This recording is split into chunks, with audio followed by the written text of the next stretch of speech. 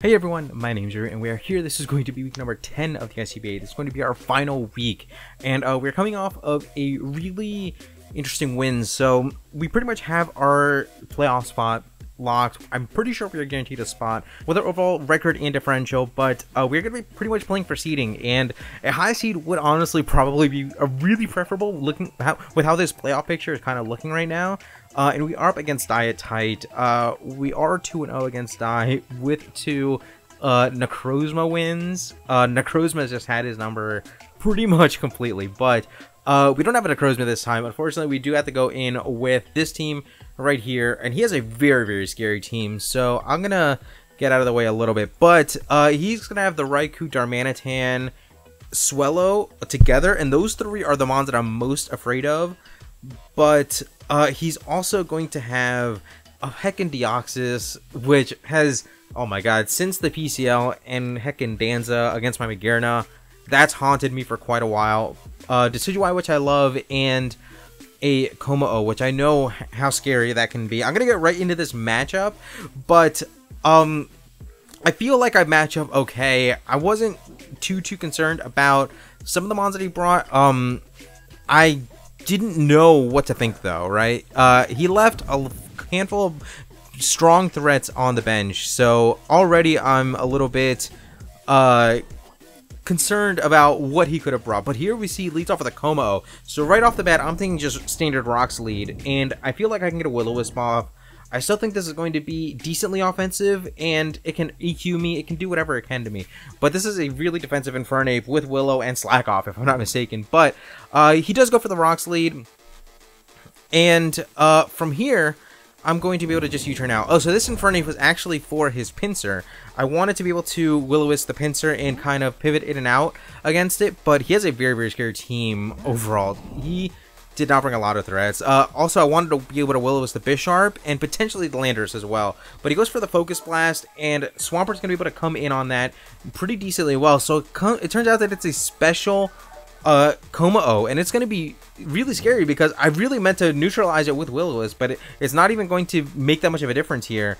And uh, I'm going to have to try to eat up a Focus Blast here and deal damage back to this Kommo-o. But at the very least, it's probably going to mean that it doesn't have Focus Blast or Drain Punch. And I am able to get off Rocks, which is going to be pretty important for the rest of the match.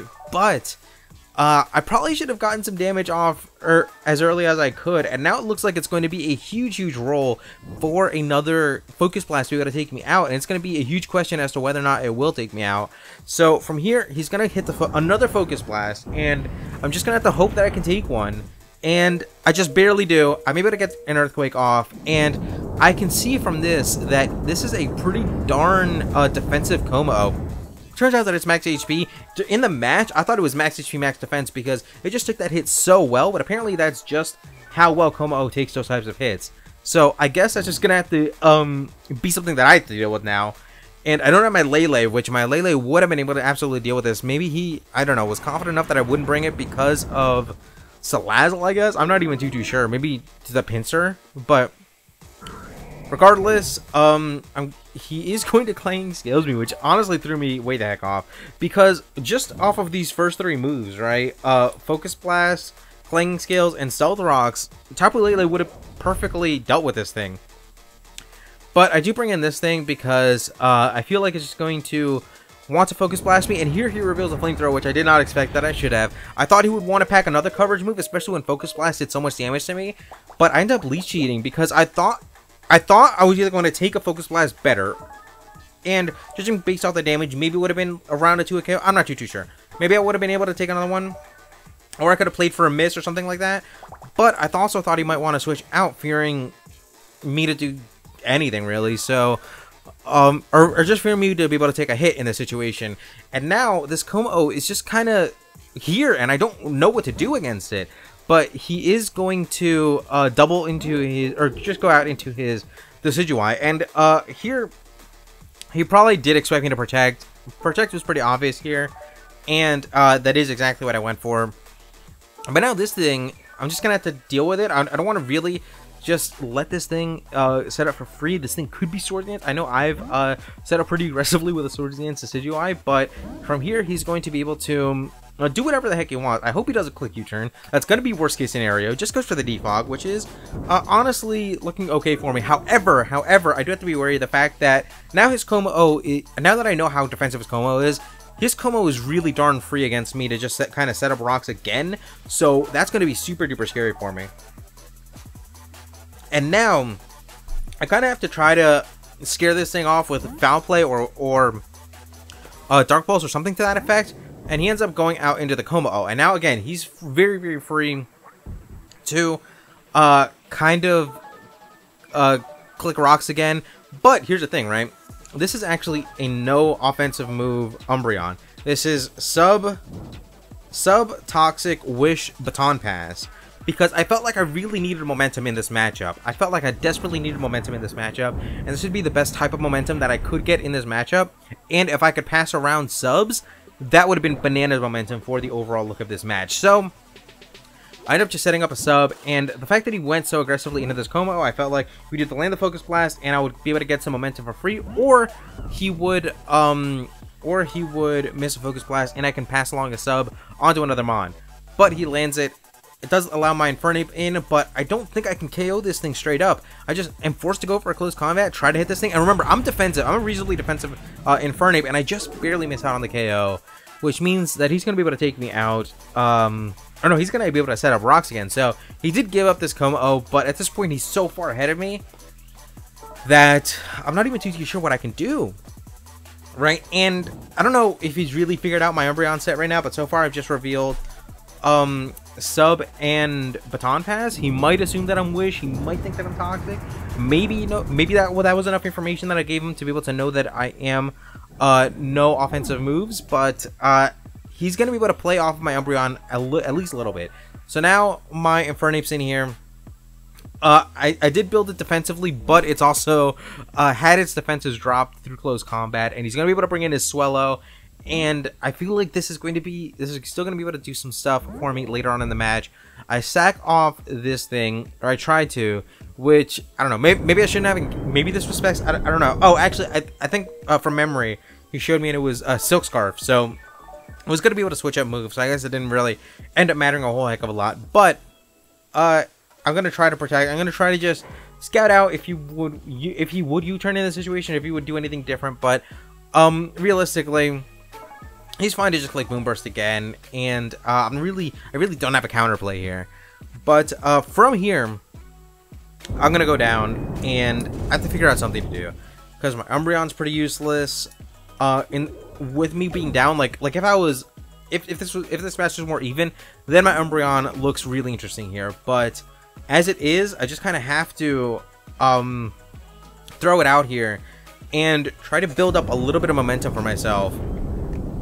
So here, I can set up a wish. Oh no, I might have been wish protect sub, wish protect sub. Uh, I'm not too too sure. Regardless, I can see how well I, I take these hits, and I'm gonna try and uh like if you better take this hit, go for the toxic. So yeah, that is my full set. Now for sure he knows my full set. And it's just gonna be toxic, uh sub baton pass and wish. And I am gonna get my wish back. I'm gonna be able to kind of 1v1 this Swellow, but he's gonna be able to play off of my Umbreon set now it's going to be very, very free setup for him in the overall uh, look of this match. And now he knows it, and he's going to U-turn out directly into something that can take advantage of my Umbreon. And I would hope that I click Baton Pass here, but I wouldn't even be able to tell you. He goes into Darmanitan. So I'm not too, too afraid of, of Darmanitan. I'm still kind of thinking that my Infernape can kind of 1v1 this uh, Darmanitan. But by me going for sub, I gave him a very, very free turn which honestly was really dumb of me. He knows my set already. Um, he knows that he knows that whatever he goes into, if it has sub, it can dodge it can dodge toxics from me by clicking a sub of its of its own. If it's as long as it's faster than Umbreon.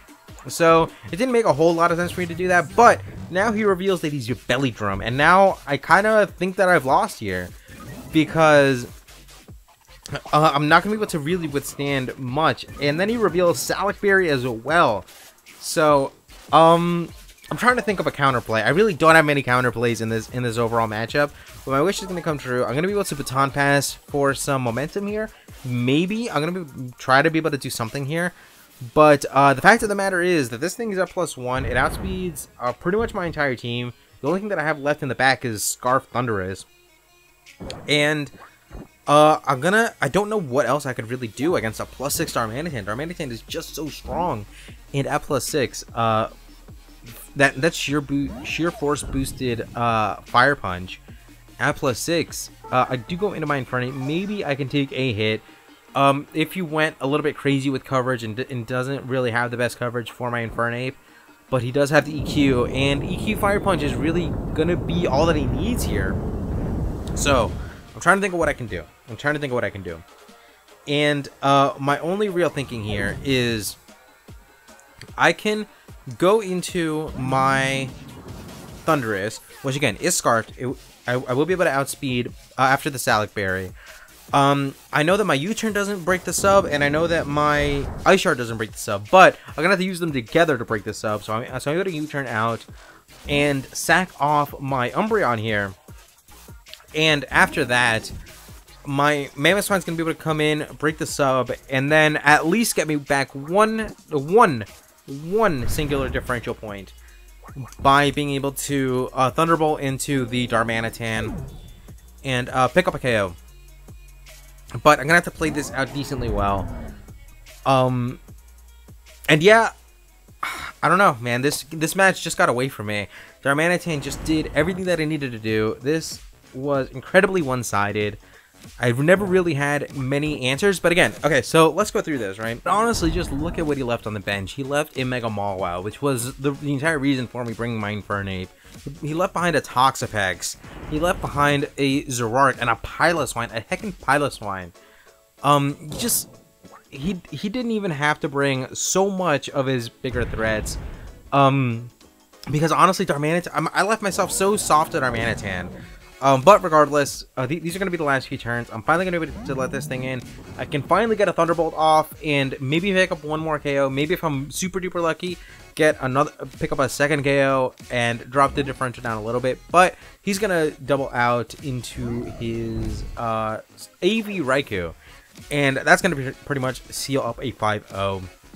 Which, which does suck. It genuinely does suck, right? And uh, honestly, if I had not won my previous week, this match alone, I think, would have put me in deep, deep danger of pretty much just losing my playoff spot altogether. But uh, I did have a spot clinched from my win last week, and uh, this match would have brought my differential way, way down and uh, caused me to just kind of uh, lose my way from here. But it's going to be okay. This is just week 10. If there was any time to lose, it's right now. From here on, it's just playoffs into the end. We're going to be able to do something with this momentum. We're going to be able to build on this loss and kind of work forward. Regardless this is going to bring us into the playoffs. We're going to be the seventh seed in the playoffs. That's going to bring us up against kelly under the radar. We haven't played him all season long and i'm finally getting a chance. It's going to be super duper exciting uh, I cannot be more excited. It's going to be coming out really, really soon. With that, we'll be back really, really soon with more weeks of the PGP League War, with uh, more weeks of the ICBA playoffs, as well as the AP Academy, which uh, should be back by now, and uh, some other projects coming in the really near future. Once again, with that, thank you guys so much for watching, guys, once again, out.